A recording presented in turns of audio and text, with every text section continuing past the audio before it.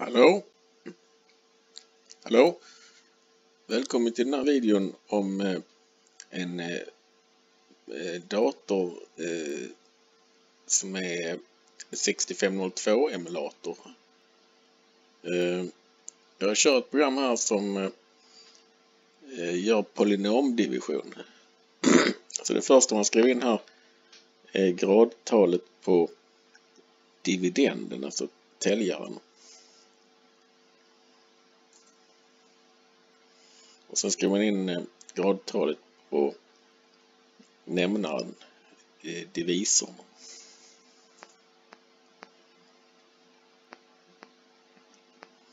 Sen ska man skriva in eh, koefficienten då, x upphöjt till 3.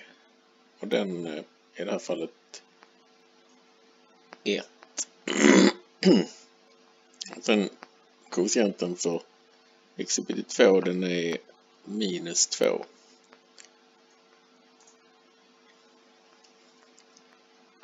Den, den koefficienten för x då den är 0.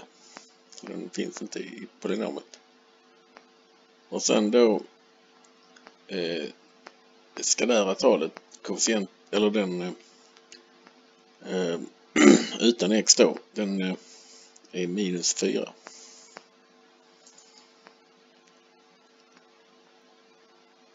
Och sen nästa eh, polynom då divisorn, eller nämnaren, där är den 1 här. x, alltså det är koefficienten framför x. Och sen eh, det man eh, lägger till då det är minus 3 här. Det här exemplet kommer från Wikipedia. Jag tänkte ta det för då kan folk kolla där hur man räknar ut det för hand. det här programmet räknar ut det automatiskt. Och det är från början från 1083, från en 1083-sajt. Sen har jag gjort om det till Z61. Sen nu till den här datorn eh, som kör någonting som heter EH Basic.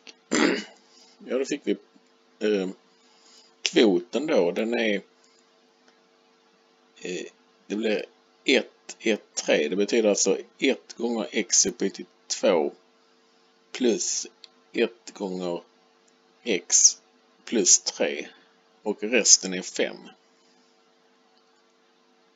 Eh, sen kan man se början på det här programmet också om man vill se slutet där.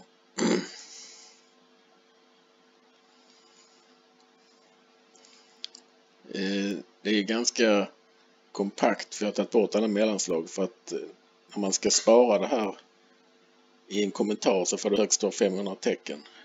Men eh, annars kan man klistra in eh, större program. Eh, så man behöver inte, det är bara när man sparar dem i kommentarer som det behöver vara så här litet och kompakt.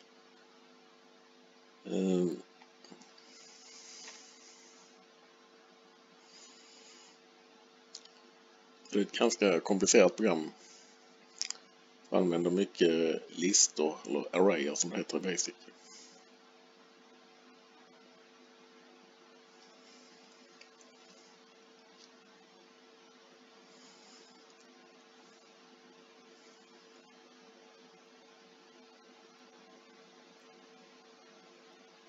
Det är inte jag som har skrivit den här eh, emulatorn då av en dator. Det är inte en emulator från en speciell dator vad jag vet utan det är bara en påhittad dator. Men eh, den har en 6502 processor i alla fall. Mot 6502.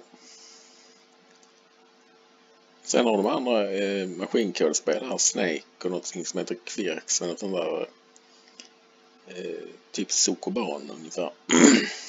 Klurigt spel. Snake är med actionspel.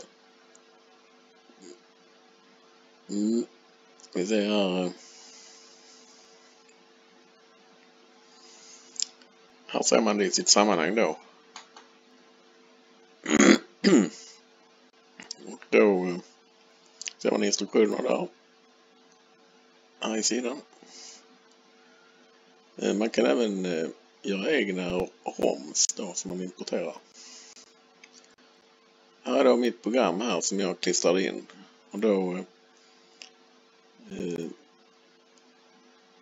så det här kommentarer också. Men då gör man så att man markerar det så här. Kopiera. Och sen eh,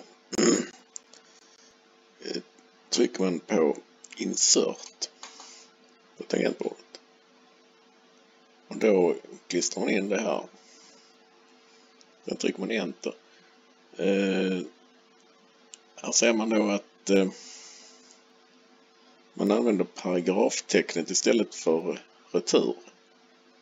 För det är svårt att ha retur här på en rad. Så då eh, klistras det programmet in här i den mest kompakta formen och sen när man listar det så packas vissa instruktioner upp. Men eh, för det mesta står det ihop ändå. Det verkar inte vara tokenizing den här basicen. Eh, står den heter EH Basic. ja, så då kan man köra i stort sett eh, Basic-program som liknar GB Basic, alltså Microsoft Basic. Ja, okej. Okay. Då är vi klara här. Det blev ett fel här, det blir det ofta.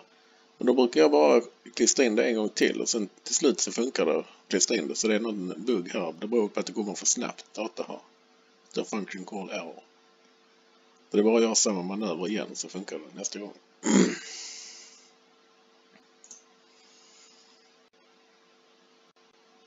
Ja, nu låser den sådär. Om ni gör det så är det bara att trycka här då och starta om det. Man skriver in 20 000 här. Det är många bytes man vill ha. Och sen trycker man då insert igen. Sen eh, till slut funkar det förhoppningsvis. Eh, nu får man trycka enter en gång på slutet där för det var ingen sån eh, paragraftecken i slutet där på raden. ja, nu ska vi titta mer på det. Det har blivit väldigt populärt här programmet på kort tid.